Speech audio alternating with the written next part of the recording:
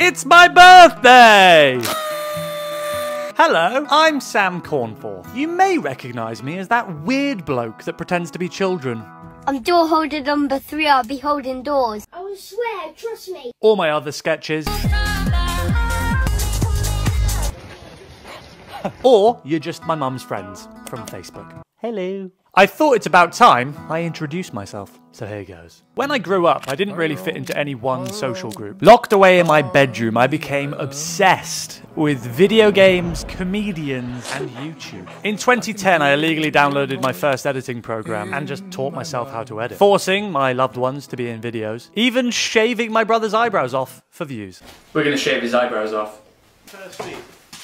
Oh my god, Sam! And I wasn't getting the views I thought I deserved. And so, naturally, I started titling my videos Hot Woman and Sexy Bum.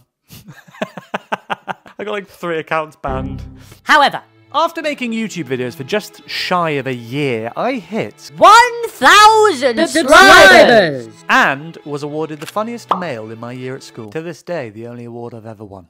But that award gave me the confidence I needed to finally apply for drama school. And I got rejected everywhere. However, I did get a place at a theatre company training for two years intensively in London. So I packed up my things and I moved to London. Fast forward two years, I was lucky enough to be signed by an agent. Things were looking great. And I spent the next seven years with my agent being rejected hundreds of auditions and I didn't land a single job. Well, aside from being the handsome soldier in a random TV series. It wasn't until seven years later that I landed my first ever professional gig! Running on a treadmill, licking an ice lolly.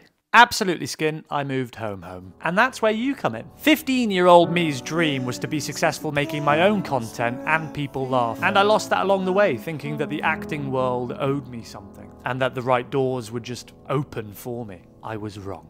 And so, here I am today, making my own doors to open through short, silly films on social media. Maybe one day I'll fulfill my dream of being a professional actor. But for the time being, I'm pretty happy. So, thank you for watching.